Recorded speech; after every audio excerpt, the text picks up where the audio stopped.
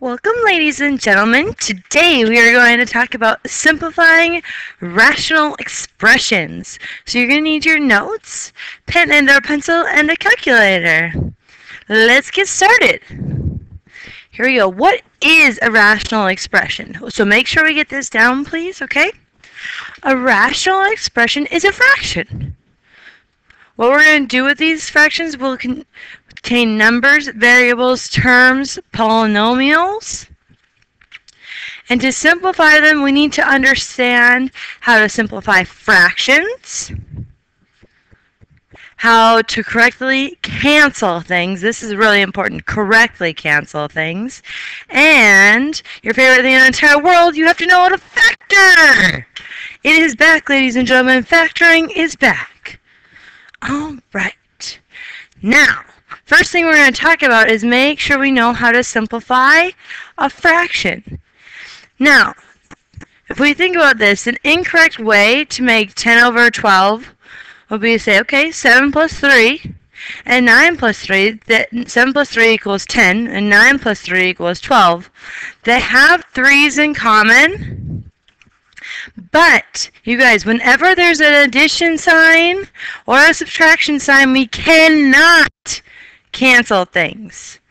All right? Now, the correct way to break down 10 and 12 would be 2 times 5 equals 10, and 2 times 6 equals 12. Now that we are multiplying two things together, we can cancel out our 2's, and if we would simplify 10 over 12, it would be 5, 6. So, we can't cancel terms, so that's like adding and subtracting, but we can cancel factors. So we're talking about multiplication. Right, that's very, very, very important for us to know.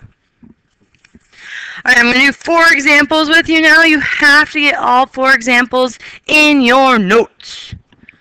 First one, we need to simplify this one. Now, ladies and gentlemen, we're going to be talking about factoring. Okay, greatest common factoring, perfect squares, AC method, the box, all of those. This one, we have to factor the top and the bottom, and only thing we can do is take out a greatest common factor. Biggest number that can go into 40 and 20 is 20. So I'm going to have 20, and then inside I'm going to have 2x plus 1 on the bottom here, my biggest number I can take out of 10 and 30 is 10. So then I'm going to have x plus 3. Now I can start simplifying. Whenever I simplify, the first thing I need to do is look at my numbers out in front. So 20 over 10, I can simplify this. 10 goes into both. So on the top here, I'm going to get 2. On the bottom, I'm going to get 1. Now, you don't have to put the 1 there if you don't want to. That's fine. If we look here, these would have to be the same to cancel. Since they're not the same, we're going to keep both of them. So this is going to be 2x plus 1. And on the bottom, I'm going to have x plus 3. All right, moving on to, then uh, now it's done, ladies and gentlemen. We can't go any further here. So now, on to example number two. Here we go. This one here, once again, we're just going to take out greatest common factor. On the top, greatest common factor, numbers, I can take out 2. So I'm going to leave 2 out in front. As far as variables, they both have an x, so I can take out x. So put 2x. Now this is times. Since I'm multiplying, those are separate factors, so we can start simplifying things. What's left is going to be x plus 4.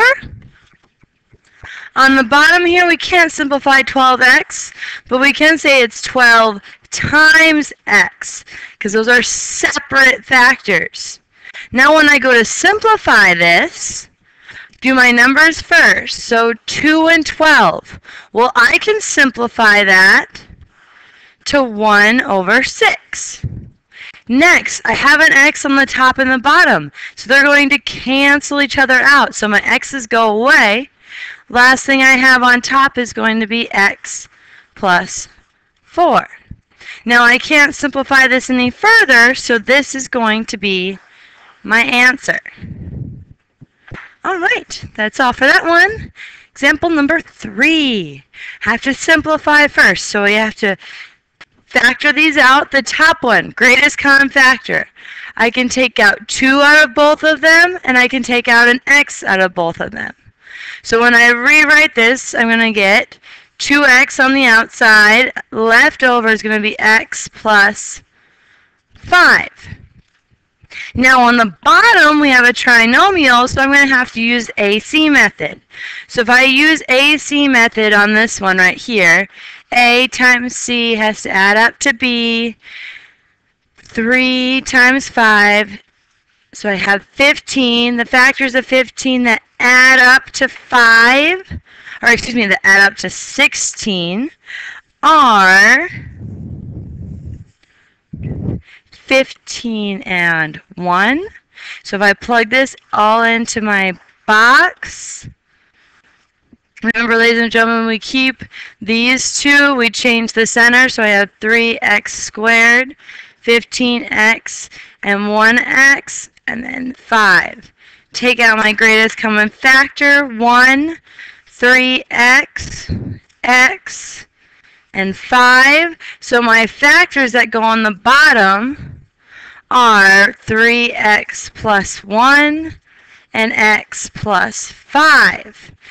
Now, since these factors are the same right here, I have an x plus 5 and an x plus 5 on the bottom, those can be canceled because they are the exact same factor. There's the exact same thing on the top and the bottom, we can cancel them out.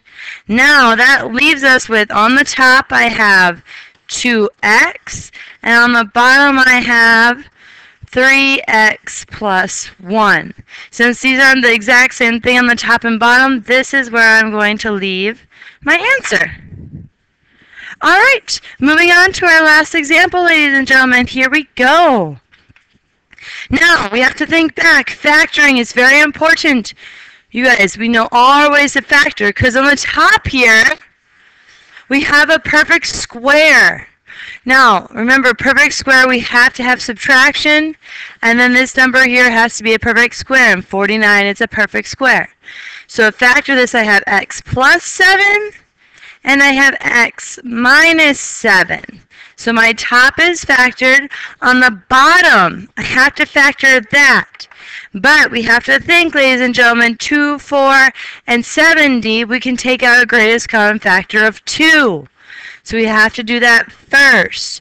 So we can't forget about our super annoying brother or sister. So that's 2 times the quantity x squared minus 2x minus 35. Now, just so that I don't forget about that super, super annoying brother or sister, I'm going to put it down here right away because it has to go on the bottom. Now I'm just going to worry about acing this trinomial here. So if I take A times C add it up to B, I have negative 35 and negative 2. Two factors of negative 35 that add up to negative 2, negative 7 and 5. If I add those together, I get negative 2. Plug it into my box. So I have x squared, negative 7x, 5x, and negative 35. Taking my greatest common factor here, here we get 5, x, negative 7.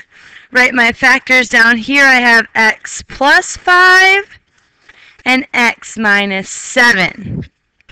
Now I can start canceling terms that are exactly the same. So on the top and the bottom I have an x minus 7. They're exactly the same so I can cancel them out.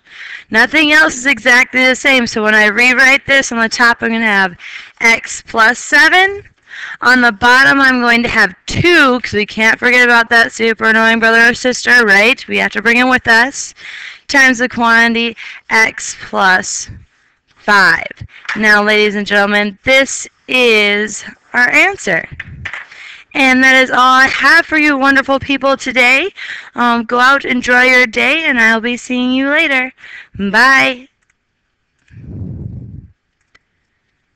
Sorry.